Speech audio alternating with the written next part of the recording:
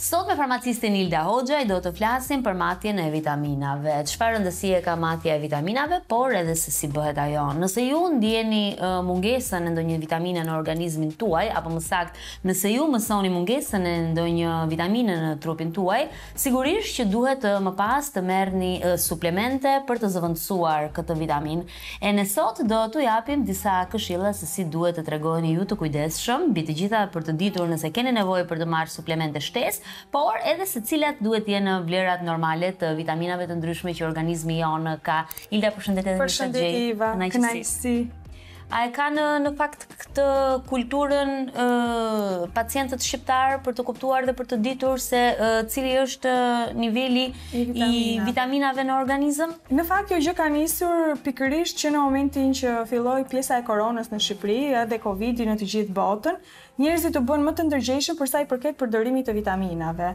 Filluan duke qenë se dëgjonin shpesh në televizor, plus OBSH-ja deklaronte që përdorimi i vitaminave është shumë i rëndësishëm, sepse personat që konsumonin dhe kishin nivele të larta vitaminash, patjetër që e përballonin më mirë koronavirusin. Pas kësaj periudhe, patjetër informimi dhe nevoja për të marrë më shumë informacion ishte akoma më i madh dhe gjithmonë vinin dhe informoheshin në farmaci që çfarë duhet të përdornin. Në momentin që ne u njofëm me aparatura, se ka disa lloje aparatura që ekzistojnë në Shqipëri për matjen e vitaminave, ishte një gjë shumë e mirë. Sepse që në momentin që ti e lançon, që ti po bën një matje të thjeshtë vitaminash në farmaci, patjetër që personat marrin një informacion më të plotë për sa i përket përdorimit të tyre dhe çfarë duhet të përdorin. Duke ditur që a vërtet janë përthithur këto vlera nga ushqimet që ata marrin, dhe a duhet të shtojnë uh, suplemente të tjera shtesë. Mm -hmm. A mundet që mungesa e ndonjë vitamine të sjellë uh, edhe rrezikshmëri për organizmin ose të sjellë më pas uh, ndonjë problematikë e cila kërkon edhe shërim apo kurim? Patjetër që po. Pikërisht vitamina D është një ndër vitaminat më të rëndësishme për sa i përket organizmit tonë. Madje është menduar që roli i saj në organizëm ndikon dhe në shumë sëmundje të tjera apo infeksione, rrezikshmëri të cilat lidhen me trupin tonë. Konsumimi i vitaminës D fillon që nga fëmijët e vegjël deri tek më sipër te moshat e treta, por është një suplement i cili duhet të jetë patjetër pjesë e përditshmërisë tonë. Nuk do të thotë që ne kemi diell, sepse Shqipëria fatmirësisht ka shumë diell, mm -hmm. do thotë që ne na përthithen. Në të gjitha rezultate, sepse matja më e saktë e vitaminës D është në gjak, të duhet ta theksoj, është parë që nuk është se ka një përthithshmëri kaq të madhe nga dielli dhe patjetër që këtë e marrim me suplemente. Mhm. Kështu që sugjerimi i vitaminës D është i domosdoshëm sepse lidhet dhe me sëmundshmëri apo infeksione apo probleme me kockat, të cilat Njerëzit i ndiejnë me kalimin e viteve. Çfarë ke vënë re nga konsulta me pacientët, a e dinë këtë gjë, e kanë këtë informacion? Në fakt po.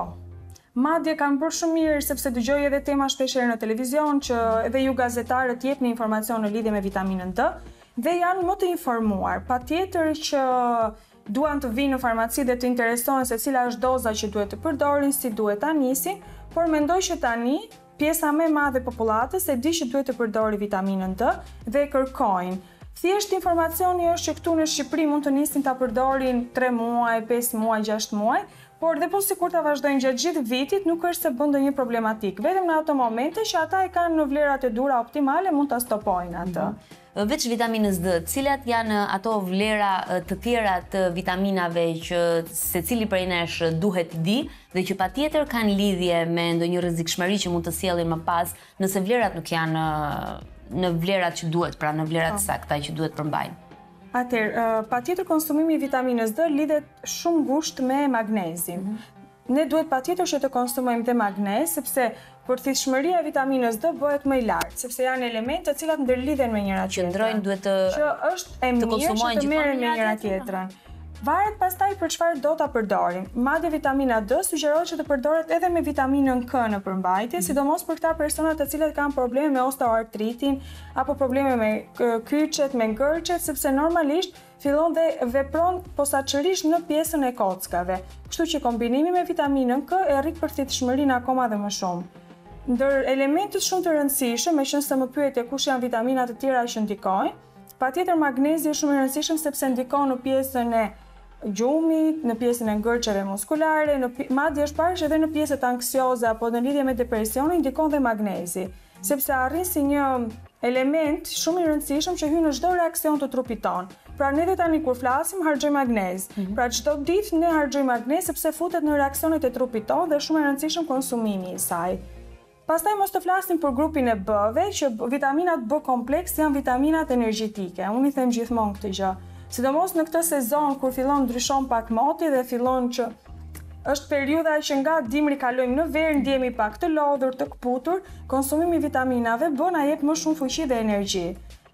Ka shikoj shumë raste që personat nuk është se han kaq shumë mish mm -hmm. apo gjëra jeshile. Dhe normalisht në momentin që ne nuk konsumojmë produkte jeshile apo mish, nuk kemi një përthithshmëri të lartë të vitaminave B. Mhm, dhe bëjmë mirë që të jemi të kujdesshëm po, po. në këtë rast. Ushqimi është shumë i rëndësishëm. I pari është ushqimi. Në qoftë se ne kemi ushqimin sepse ne nëpërmjet ushqimit bëjmë 50% të punës. Mm -hmm. Por, duke qenë se nuk gjatë ditës ne nuk është se i konsumojmë kaq shumë këto ushqime me vlera ushqyese kaq të larta, patjetër është mirë të marrim diçka shtesë. Flasim pak për fëmijët e vegjël, çfarë nevojash kanë ato për të marrë këto vitamina si suplemente, shtesë në rast se jo gjithmonë ushqimi mund t'i plotësojë nevojat, edhe cilat janë vitaminat kryesore që do të sugjeroje, që të paktën prindërit të kenë dijeni për t'i bërë matjet edhe më pas ndoshta për të marrë suplemente. Për sa i përket fëmijëve të vegjël, nisim nga momenti që sapo lindin fëmijët, Nga momenti i lindjes deri në moshën tre vjeç vitaminën D nuk duhet ta ndajnë. Madje gjithmonë pediatrët e këshillojnë këtë sepse u ndihmon si për fuqizimin e imunitetit, por gjithashtu dhe për fuqizimin e kockave, të pjesës së fontanelës të kokës, gjë që është shumë e rëndësishme. Përveç vitaminës D, pasi kalojnë tre vjeç, është shumë e rëndësishme edhe konsumimi i vajit të peshkut. Shpesh dëgjojmë që fëmijët kanë probleme me lëkurën që krijojnë tharje, psoriazën apo ekzemën. Përveç shampove që janë shumë të rëndësishme që nënat duhet të zgjedhin shumë të buta, konsumimi i vajit të peshkut u ndihmon që ato të kenë një lëkurë sa më të butë dhe mos të kenë tharje të lëkurës. Vaji i peshkut gjithashtu i ndihmon në fuqizim dhe në zhvillimin e trurit, gjë që është shumë e rëndësishme sepse vjen mosha pesë vjeç që do fillojnë do mësojnë, do studiojnë, kështu që patjetër vaji i peshkut për ta është shumë i rëndësishëm. Pastaj, për të përballuar gjendjet e infeksioneve virale apo bakteriale të ndryshme, konsumimi i vitaminës C patjetër. Këto janë treshja kryesore që fëmijët e vegjël duhet të kenë parasysh. Ju përmendët vitaminën D, por shpesh herë kam dëgjuar që tani në verë thuhet sikur duhet të ndërpritet përdorimi i vitaminës D tek fëmijët për të nisur më pas. Tani është një perceptim i gabuar apo kështu është vërtet? Studimet thonë që në momentin që ne jemi të ekspozuar në diell, pra ne jemi në plazh, Nuk kemi pse të përdorim vitaminën D sepse ne po e marrim tashmë nga mhm. dielli atë. Por në qoftë se ne shikojmë që fëmija ose kemi bërë një analizë vitamine D për fëmijën dhe i ka dalë në nivele të ulëta, dhe ne jemi këtu në qytet e mbajmë në shpi, në kopësht, patjetër që mund t'ia japësh se nuk ka ndonjë problem. Por në momentin që jemi të ekspozuar në plazh dhe jemi të ekspozuar nën rrezet e diellit, patjetër që do e stopojmë. Mosha e tretë gjithashtu është një moshë shumë delikate, e cila padyshim që ka nevojë edhe ajo për vlerësimin edhe për të ditur se cili është niveli i vitaminave që përmban organizmi i tyre. Por në fakt, a ka disa vitamina kryesore që mosha e tretë duhet me patjetër t'i ketë si suplement në organizmin e tyre? Patjetër që po, madje të të them që mosha e tretë është mosha që duhet të kujdeset akoma më shumë, sepse nuk është se kanë atë përthithshmëri. Metabolizmi i tyre nuk është më siç janë njerëzit e rinj që kanë metabolizëm më të shpejtë, dhe do të thotë që u përthithen më shpejt lëndët aktive apo vitaminat apo lëndët ushqyese nga ushqimet. Kështu që patjetër ata duhet të marrin akoma më shumë suplemente ndryshe nga ne. Është shumë e rëndësishme matja e këtyre niveleve për të parë që çfarë duhet të përdorin, që dhe mos të mbingarkohen, se edhe mbingarkesa nuk është diçka e mirë, por që mendoj dhe është vërtetuar që personat e moshës së tretë patjetër konsumimin e vitaminave duhet ta kenë diçka primare. Vlerat e këtyre vitaminave ndryshojnë nga njëra gjini në tjetrën apo janë vlera të cilat janë për të gjithë njësoj? Pra vlerat minimale dhe maksimale. Duke qenë se ne bëjmë një matje të vitaminave paraprakisht në farmaci, që është një matje invazive, mhm. pra që nuk është se përcaktohet në gjak, e theksoj këtë gjë, sepse mhm. matja në gjak është ajo që e përcakton 100% dhe të saktë mhm. nivelin e vitaminave, kjo ne na jep një lloj suporti, pra një lloj ndihme që çfarë duhet të sugjerojmë. Shpeshherë ndodh që meshkujt janë më mirë se femrat, duke qenë se femrat vetvetiu nga trupi i tyre konsumojnë më shumë dhe trupi i tyre harxhon më shumë vlera ushqyese dhe gjithmonë kërkojnë më shumë suplemente se sa meshkujt, por kjo gjë varet. Varet edhe nga personat, varet nga jeta që bëjnë, nga aktiviteti që kanë, varet edhe nga puna sepse personat të cilët që ngarkohen shumë psikologjikisht harxhojnë më shumë nivele të vitaminave. Më shumë ka të bëjë ana mendore se sa lodhja fizike. Fizike, mirë. Unë jam gjithmonë shumë kureshtare për të kuptuar se si ndodh edhe ky procesi po. i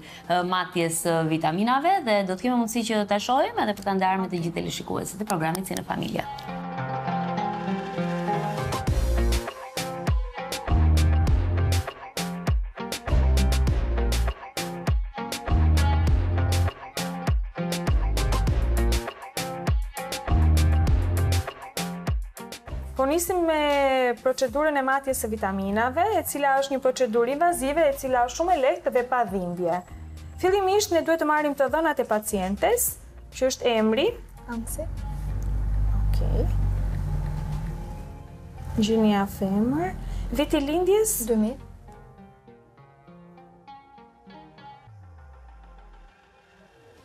Pesha 47.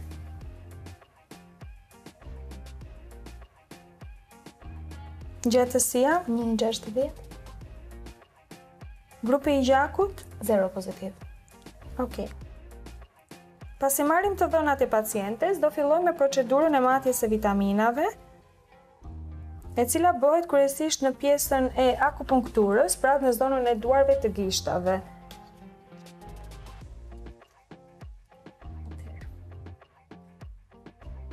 Fillimisht ti do mbash këtë tek njëra dorë. Okej. Okay.